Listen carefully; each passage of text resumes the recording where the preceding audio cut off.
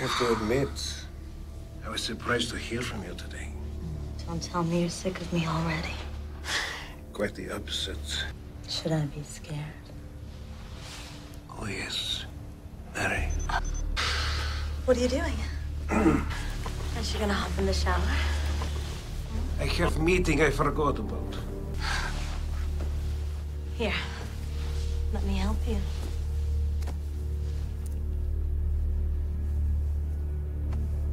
We don't want your colleagues getting suspicious.